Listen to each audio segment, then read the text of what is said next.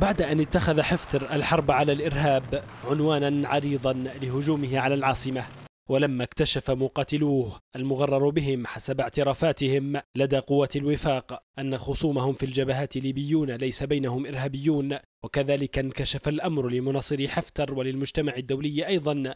تحولت المعركة إلى حرب مقدسة عنوانها الجهاد فبأي معنى استدعي هذا المفهوم؟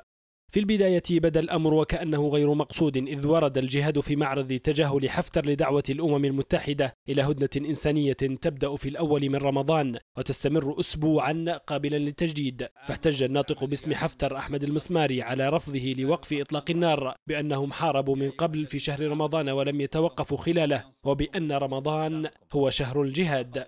صحف غربية التقطت هذا الإسقاط في مقال عنونه موقع بلومبرغ بحفتر يواصل الجهاد رغم نداءات الأمم المتحدة وقد جعل الموقع كلمة الجهاد بين ظفرين وفي ذلك دلالة لا تخطئها العين نظرا لحساسية هذا المفهوم الذي طالما تذرعت به المجموعات المتشددة كالقاعدة وتنظيم الدولة لقتل الأبرياء فضلا عن الخصوم. لكن الجهاد الذي بدا عرضا سرعان ما أصبح قاعدة رسمية للقتال وعنوانا جديدا تم استدعاؤه بكل دلالته الفقهية. فقد أصدرت هيئة الأوقاف التابعة لحكومة الثني فتوى بإيجاز إفطار مقاتلي حفتر خلال شهر رمضان من أجل ما سمته التقوي على الجهاد. الأكثر خطرا من الفتوى ذاتها ما استندت إليه الهيئة لتبرير فتواها فقد احتمدت لذلك حجتين. أولاهما حديث مسند إلى صحيح مسلم. جاء فيه أن الرسول صلى الله عليه وسلم أفتى لمرافقيه بالإفطار وهم في حال قتال للمشركين. أما الحجة الثانية فما نقل عن ابن تيمية من أنه أفطر في قتال التتار وأفتى للمقاتلين بالفطر.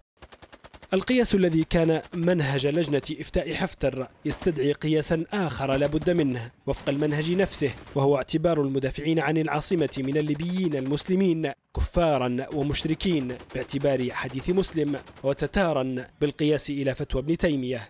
السؤال الذي تطرحه هذه الفتوى هو إذا لم تكن حجة الإرهاب مقنعة لمقاتلي حفتر للإقبال على القتال في محاور العاصمة بعد أن أسقطت في الميدان فكيف يمكن إقناعهم بأن خصومهم على الجبهات من أبناء جلدتهم يشبهون التتار ومشركي مكة؟